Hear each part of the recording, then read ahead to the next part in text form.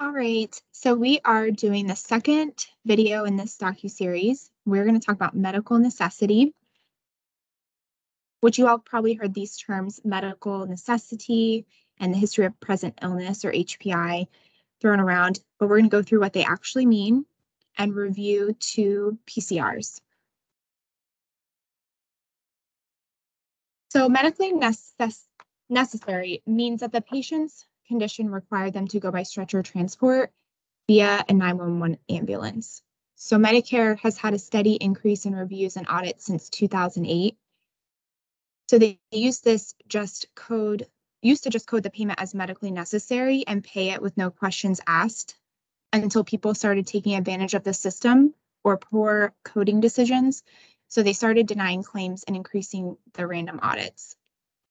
So the thing about medically necessity is that it's pretty subjective and not black and white. And that's why documentation is so important. Everything needs documentation to support the following claims. So a few things that you can ask yourself when you're writing your reports is one, is this medically ne necessary? Does it have the supporting documentation?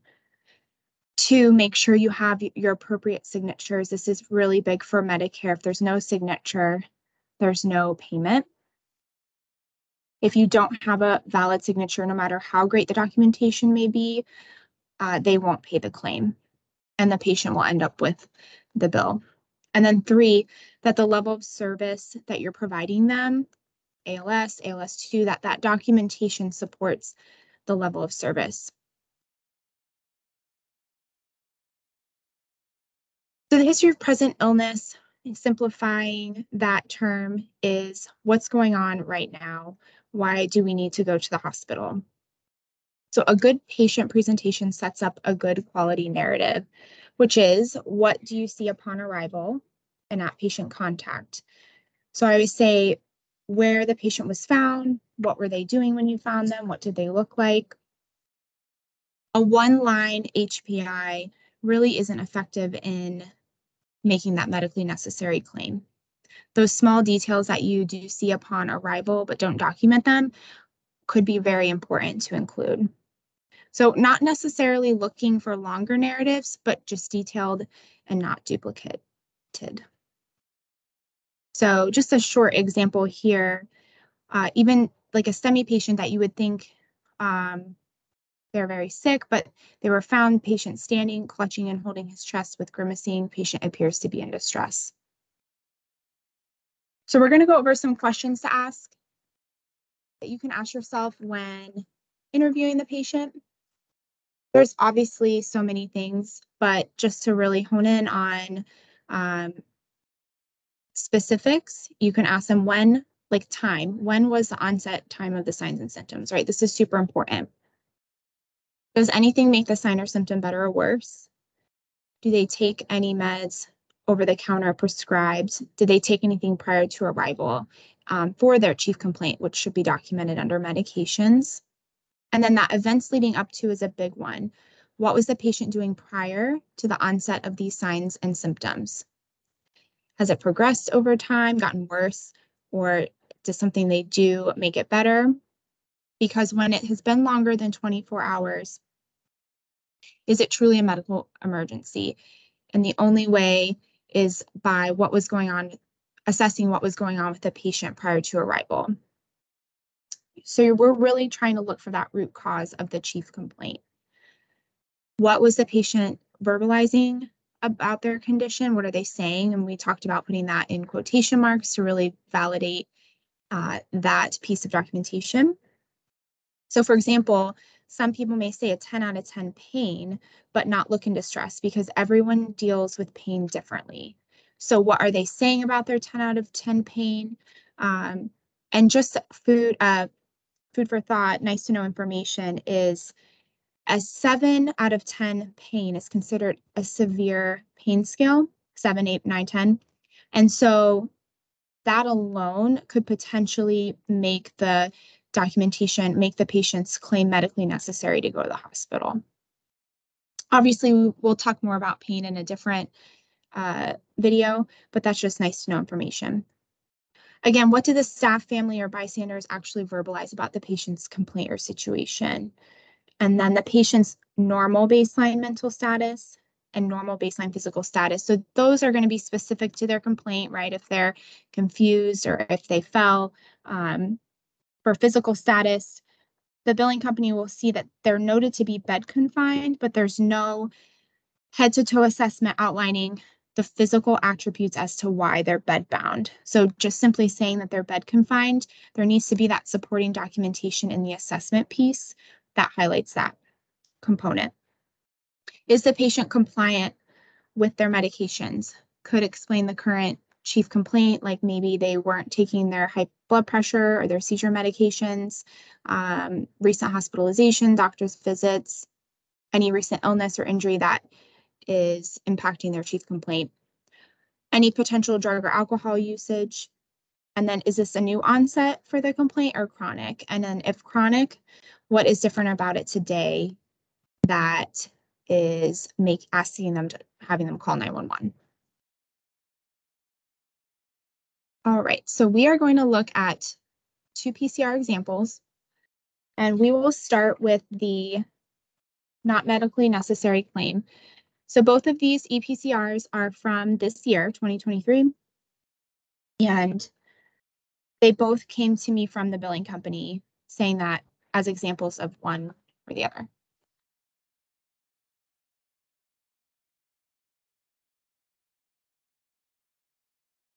Alrighty, so this first one, the response was for an ill person that was at a facility History obtained from staff who complains of patient stoma to her colostomy being dislodged and protruding. It is unknown how this happened. Arrived to find the patient sitting in a chair talking to family on the phone. Patient is alert and denies any distress. Vitals are stable per staff. Patient is assisted to stretcher and interventions are put in place. Patient is moved to rescue and interventions are continued. GSC I'm assuming is general supportive care given during transport. Patient is transported in a position of comfort, transferred to ER bed, and report given to ER staff. So just a few things to highlight uh, as to why they said this was not medically necessary. Uh, that history of the present illness that we talked about, which in this case is that their colostomy was dislodged and protruding. So the assessment really needs to be specific to that. When we scroll down and we look at the assessment, there's no abdominal assessment. So when we ask ourselves, well, what are the things that we would want to chart for this? Definitely we would want to assess, you know, it said it was protruding, but was their belly distended? Was it firm or hard or soft? Um, what were their bowel sounds? we would want to know uh, that stoma color. So a lot of the, some of the bags are clear, some of them are not. Most people that have a colostomy are going to be very familiar with it. They're going to be able to show you, but we want to know if that stoma is pink or if it's cyanotic. We want to know if there's any bleeding. Uh, and we want to know their last bowel movement because if it's, if this report says that the top here. It's unknown how this happened. So we don't really have that time frame to say, you know, how long it's been like that. So by asking when was that last bowel movement, when have you last emptied your colostomy bag, that can help paint that picture of the history of present illness. All right, so another thing that I wanted to highlight um, that the billing company is going to look at. And it might not have made a difference here in this report, but it's definitely something they look at. And it's the vital signs. So you can see that they did apply oxygen, but there's no O2 saturation for that. So I'm assuming that there was a need for the oxygen, but no documentation to support the need. So I would say this is this does violate protocol in the sense of it's not a complete set of vitals. And for transported patients, it's not two complete sets. So we're missing that diastolic on the blood pressure and we're missing the oxygen. You could potentially get a uh, temperature on this person. I mean, they could have something going on in their belly, especially if they have an assessment of a distended belly. That would definitely um, trigger trigger you to get a temperature.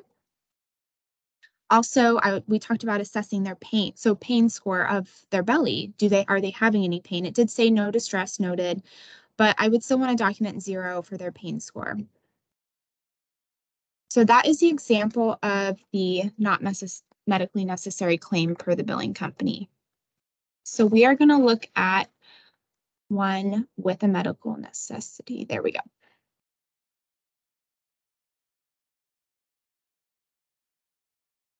All right. Thanks for bearing with me. So this patient, this call, they were just. So I do want to highlight, um, it's great that the primary impression is fever and the secondary impression is sepsis. So this is super important to utilize. We draw a lot of data off these primary and secondary impressions. Um, but it also paints a picture as to kind of what's going on with them. So they were dispatched for a respiratory complaint, but upon arrival, they found one patient lying in a semi-Fowler's position in bed in the room at the nursing facility. The facility staff stated the patient presented to the daytime shift nurses this morning with an acutely altered mental status and slight shortness of breath. According to staff, the patient's baseline mental status is alert and talking normal, and the presentation this morning was not normal. The staff stated the patient was being monitored for possible COVID, and they noticed the patient's family notified them of the condition and sent to wanted them sent to the ER for further eval. All information was gathered from facility staff due to patient condition and being poor historian. So that's a great picture of the history of present illness. It has a time frame of when it started um, and what was different about their mentation today. The assessment in the narrative says um, it's a great head to toe focusing on the history of present illness. So the patient was assessed, no new trauma noted. They were weight confused with slight tachypnea. Patient's skin was warm and dry to touch. Temperature assessment revealed the presence of a fever. Neuro exam was normal and CPSS was negative. Lung sounds clear. The patient had noted old contusion to the right orbit negative chest pain, negative abdominal pain, full PMS, and a sepsis alert was issued.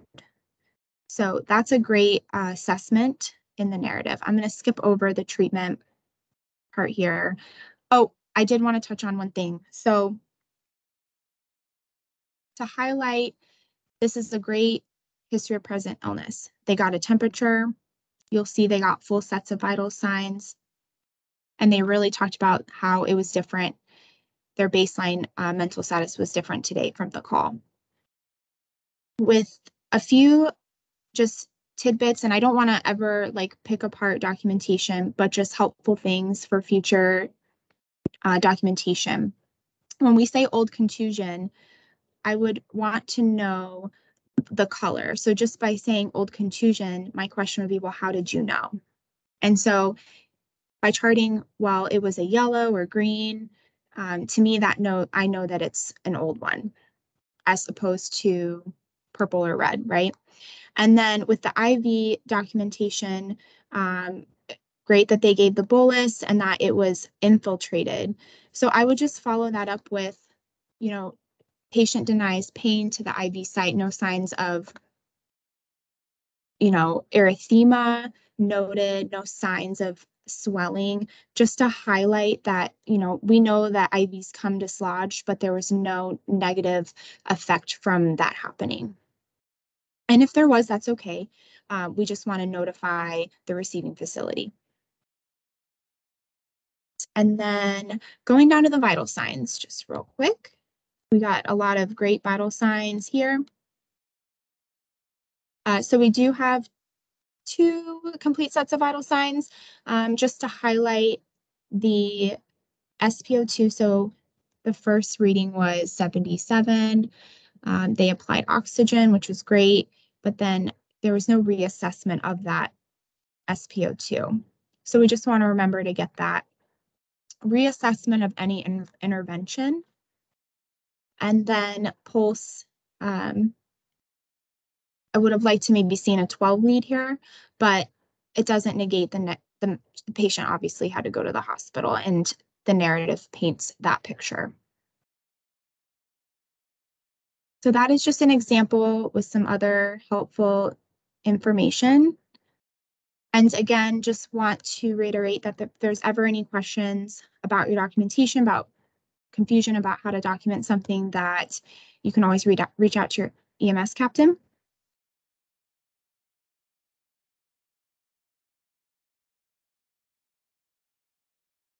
That is all.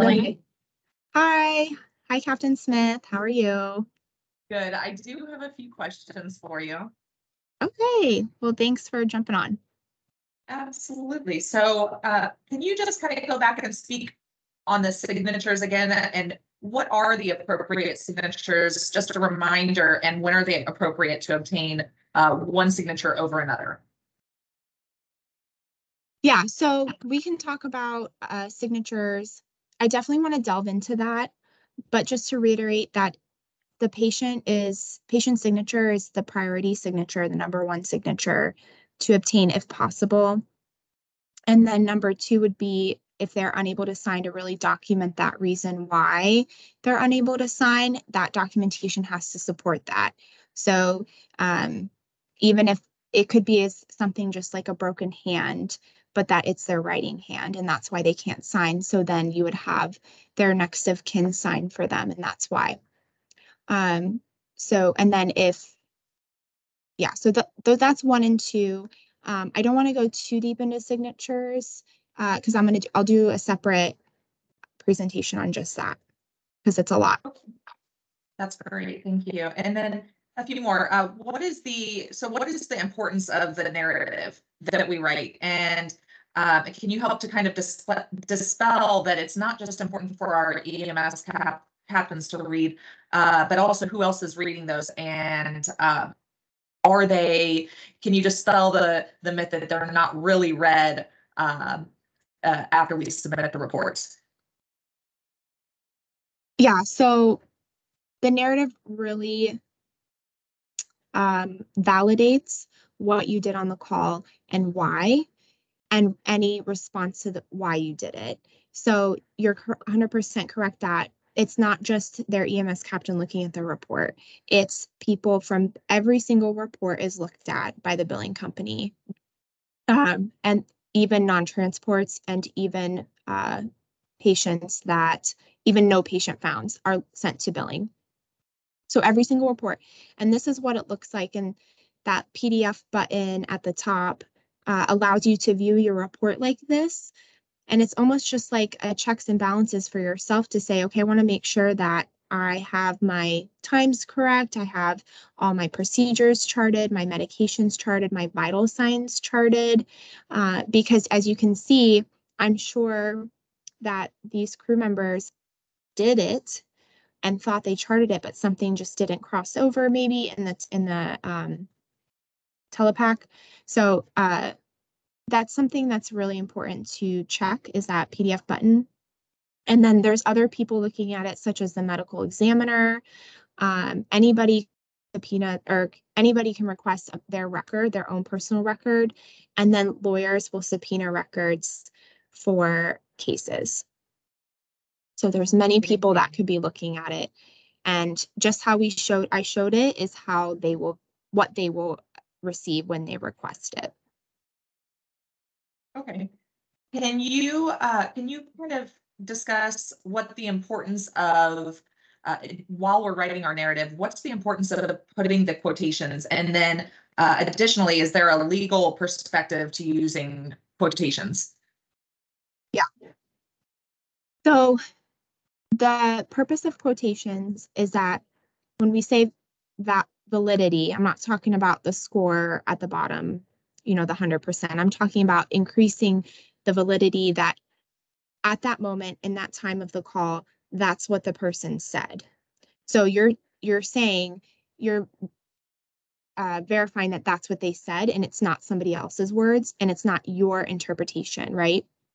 Because um, things can become very subjective or, oh, I didn't say that. So in if something were to go get subpoenaed in the court uh, in the law, law, court of law, it is a way for lawyers to say, well, what you said. So it is a way for them to really um, go one way or the other um, based on, on what it is. So medic medically necessity is a term that we that is out there and I never want anybody to chart, you know, because they want, you know, they want it to be medically necessary. So that's why we say to chart, um, to use these questions and really try to just outline what's going on with the patient. And by doing that, it's going, everything's going to kind of outline itself um, appropriately. So does that answer that? Yeah, that's absolutely, thank you. So can you kind of tell us, uh, how long is the process for an individual to, a patient to contest charges that they were, that they felt were not appropriate? How long is this process after they've been billed? Um, and if they feel that they were improperly coded, um, for them to kind of fight the system and receive compensation? Um, yeah, so they, so we have up to one year after the date of the incident to build a patient. So we have an entire year to um, do that, and then if there's issues, usually within that time frame, they find out. I- mean, I feel like they have as much time as they want, but one year is when it would, uh, they would start sending it to collections. after one year. So then if they feel that they were improperly charged or if based on, let's say we have the patient that, uh, that, that the, the first report that you showed us. So this patient now has to fight to be compensated for a call that, or for the, for a transport that was likely medis- medically necessary, but now they have the inconvenience of having to uh, go do the back and forth to receive their proper compensation. How long does that process take for them, or do you have any idea? I have to look into that. So they, we have a number that we can give them. Um, that, so our billing company will assist them in creating a Medicare claim. And they're gonna have to provide some supplemental documentation, probably from the hospital, like as to why, you know, I fell and I had a hip fracture and they're telling me it's not medically necessary. Um, or I showed up to the ER and then I was intubated and they're saying it's not medically necessary. So they'll want to see that documentation and then it's going to be very subjective on Medicare's part as to whether they'll approve it or not. I don't have too much on that side of it, um, but our billing company is great in assisting the patients with making a um, a claim to try to get their bill paid. We have about uh, 61% of our transports are Medicare transports. Wow, wow. So correct me if I'm wrong, but it would seem that our customer service would extend to how we document. Um, in the sense that we want to definitely help our customers or patients receive the appropriate compensation. Um, because they're, they're already experiencing a stressful event and we should really make the effort to at least assist with providing the opportunity to relieve, uh, potential uh, financial burden that they may incur. Yeah, I mean, it definitely just by being, so I always say to be, you know, being thorough. So we want to be um, accurate in our documentation, concise and clear. Um, and so by remembering that and using those tools that I just shared about documenting the history of present illness and really delving into the why, it's really going to help support that medically necessary claim without even having to think about it and I even having to um, worry that it's not meeting that. Excellent. Thank you for taking the time to put this together, Emily, and discuss this. I mean, it's a very important topic with the Yeah, of course. so thank you for taking the time. Of course, and you know, um, if anybody has questions specific to this topic, because I know it's um, kind of a lot, um, you can reach out to Captain Smith, send her an email, or myself, um, and we'll we'll work on getting you an answer back. So, thanks again.